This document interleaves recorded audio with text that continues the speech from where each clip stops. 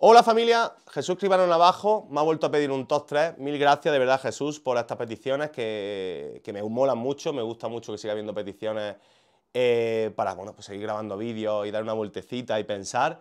De Anne Hathaway, eh, actriz 42 añitos, un Oscar ya en su momento por Los Miserables en 2013. Una actriz que lleva mucho tiempo ya en la gran pantalla a pesar de su juventud y aviso desde ya que no he incluido Los Miserables, podía estar perfectamente, incluso alguna pondría como la mejor interpretación de su carrera por ese Oscar. Yo la dejo fuera.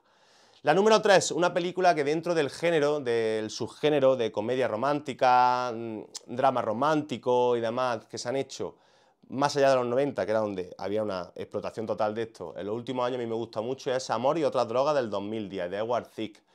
Bueno, Jack Gyllenhaal es ese, ese vendedor ¿no? de una farmacéutica, ese comercial de una farmacéutica que le va muy bien, que tiene mucho éxito, lo vende todo, tiene éxito en su vida laboral, en su vida personal, tiene éxito con las mujeres, hasta que un día conoce a una enferma muy joven de Parkinson que es Anne Hathaway. Pasar una historia real, una película dura, una película que sabes cuál va a ser su final y aún así te quedas a verla, te engancha, te engancha por la sutileza, la sensibilidad con la que muestra los momentos más difíciles, te engancha como típica historia Jack Gyllenhaal que no quiere atarse, ¿no? Y al final se enamora, llega el amor a su vida cuando ve a, una espléndida Anne Hathaway.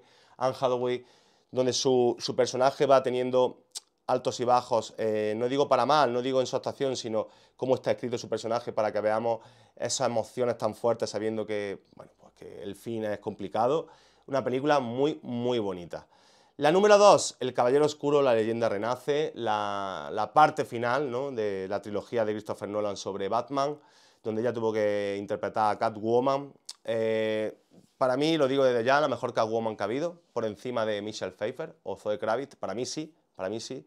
Creo que, sobre todo porque aquí Nolan es muy inteligente como ha hecho con todos los villanos, con todos los secundarios en toda la trilogía, que le da un peso, le da un peso en el argumento, le da un peso a su personaje, un desarrollo Creo que tiene química con Christian Bale. Yo sí me creo su, relación. Me parece una pareja bastante verosímil. Cuando están juntos, bien. O sea, me cuadra bastante. Ya sabéis, Caballero Oscuro de la Leyenda Renace, ese final de la trilogía con Bane, con Tom Hardy, eh, donde, bueno, tiene ese final tan épico, ¿no? Que cada uno interprete como quiera pero que me gusta mucho el personaje de Anne Hathaway porque tiene ese punto chulesco, pero a su vez tiene ese punto muy sensible y al final, bueno, pues todos sabéis que está destinada a enamorarse de Bruce Wayne. Y la número uno, mm, creo que hay poca duda, he dicho al principio del vídeo que a lo mejor gente, para ellos eran Los Miserables, para mí es Interstellar, año 2014, también con Christopher Nolan, su segunda participación con él, una película de culto ya, podemos decirlo así, la, para mí la mejor película de ciencia ficción del siglo XXI. Para mí top 5 de películas de ciencia ficción, un día haré un top de esto si queréis. Eh, espectacular Matthew McConaughey, espectacular como Nolan nos retrata, mm, bueno, algo eh, que es tan difícil, tan complejo de entender para, para el público normal, ¿no? Nos lo enseña de una manera que no lo creemos y lo entendemos, ¿no? A pesar de ese final, ¿no? Donde Anne Hathaway pues, hace de esa astronauta, ¿no? Eh, que hija de Michael Caine, que tiene que ir a, montarse la nave e ir con Matthew McConaughey a salvar a la humanidad, básicamente. No quiero decir mucho más de Interstellar, por favor, verla que no haya visto. Yo me, he retractado hace poquito sobre ella, tenía una opinión un poquito más de notable y para mí una de las mejores películas que he visto en mi vida. Y Anne Hathaway un contrapunto muy interesante a, Matthew McConaughey en un papel y en una historia donde antes no no la habíamos visto antes y me parece que, sinceramente, alejada de ese punto cómico que casi siempre tenían sus personajes anteriormente, incluso en, Batman.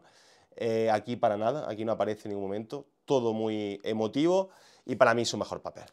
Jesús Escribano, mil gracias por hacerme pensar cuál sería mi top 3 de Anne Hathaway. Dejadme en comentarios todos, inclusive tú Jesús si quieres otro top, qué top queréis que haga, que yo lo hago encantadísimo. Por favor, familia, suscribiros al canal que es gratuito, nos ayudáis a crecer. Activad la campanita, darme like y nos vemos en el siguiente vídeo. Chao, chao.